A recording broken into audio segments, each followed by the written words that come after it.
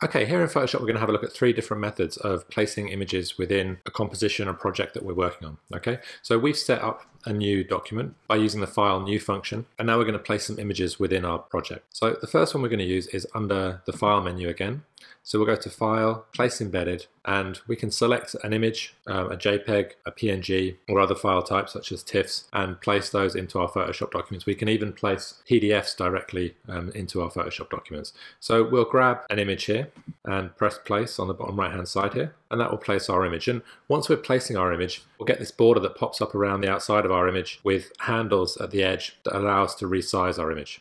Now if we begin to resize straight away you'll notice that I'm distorting the image so we want to hold down shift as we're resizing um, and getting our image ready to position okay so that we keep the proportions. So we'll scale our image down a little because we're going to put a few images into this one document and then once we're happy with the scale of it we can move it around and then hit enter once we're happy with the position of it. So that's one way of placing an image within Photoshop. Now this is an embedded file, so if we save our project, this image will be contained within the file that we save. The next option under File is the Place Linked option. Now you need to be careful with this option because it does place the file as a linked file. And We'll just quickly grab another image here and place it in. Okay, now this file is linked, which means that if we move or remove or delete that external file, then we will lose the link to that, that file. So if we, again, hold down shift and rescale this one, you can see the difference in the icons in our layers panel here. So we have the smart object, which is the, the first layer that we placed, and then the second layer that we placed has this little link next to it.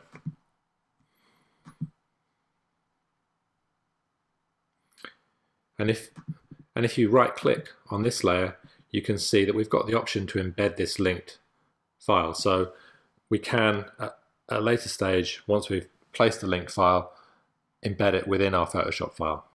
So the next option we're going to look at is how we would drag and drop a file from one Photoshop document to another. So we'll go to File and Open this time. Okay, and we'll pick out a, a project file that we have here. Okay, so if we look at our tabs at the top of our Photoshop window here, we can flip between them and we can also click and hold on one of those tabs and drag it out.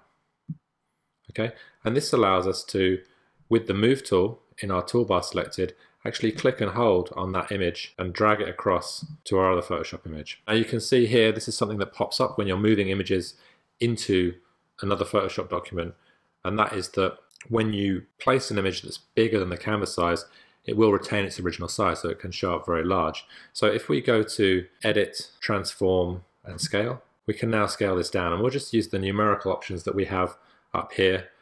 We'll link the, the proportion so that we scale it in proportion and just type in 25 here to make it 25% of the original height and width. Okay, and then we can go in and rescale it down a little more. Now one thing to note about this image is that we have a slightly different layer icon down here or an absence of a layer icon. So these are really the three key types of image that you would place within a Photoshop document.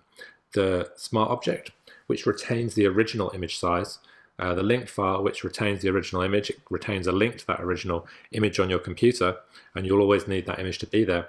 And then this, which is just a bitmap image. So now once we've scaled that down, we've lost its original file size and file quality.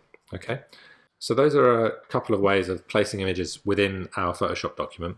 We'll just open up another file here and look at a different way of placing an object. Okay, so we can also place an image from one file to another by copying and pasting it. So if we open a file up and select the rectangular marquee tool, we can draw around an area of an image, go to edit and copy, come to the file we're making our composition in and go to edit and paste. And that will paste the, the file in. And again, if we go to edit, transform and scale, we can scale this image down. And we'll link those together and scale down the image size. Now it's scaled the image to the center of that original image. So if we zoom out, you'll see and this can happen from time to time, that the image that we've scaled is scaled around this center point. So just be aware of that. If you do use the numerical scaling, then it's going to scale um, and it can scale off the canvas. And so you may not be able to see it at some point. Okay, so that's a useful thing to know.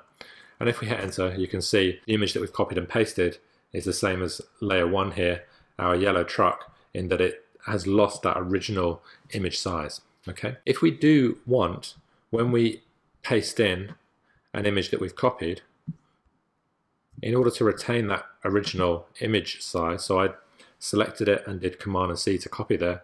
If I paste in now, okay, and right click on my layer, I can convert this to a smart object, okay, which means now if I if I transform it, it's going to retain its original image quality. And again, I'm holding down shift as I'm transforming that. So you can see these two chairs that I've pasted in. If I hit enter, one is a smart object and one is a, a regular layer. Okay. We can also, if we go to open another file, select a whole image. So if we go to the select option here, we can select all and go to edit and copy. We can close these original images up now. And then we can use edit and paste to paste that image in. Okay.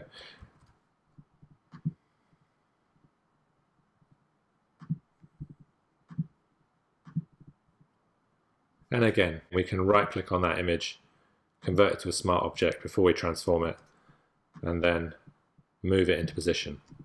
Okay. So when I'm zooming in and out, I'm using Command or Control and plus or minus, depending on whether you're working on the Mac or PC. But you can also use the view window to zoom in and zoom out. You can see the shortcuts listed just to the right here. Okay, so now you can see we have a number of different images placed within our Photoshop document. And these images stack in layers like a deck of cards. So for instance, if we have this red chair and we wanted to move it behind these other images, we can grab it here, click and hold, and then drag it behind our other images, and you can see it shuffled back there. Okay, so that's a quick overview of how to combine images within Photoshop from different sources.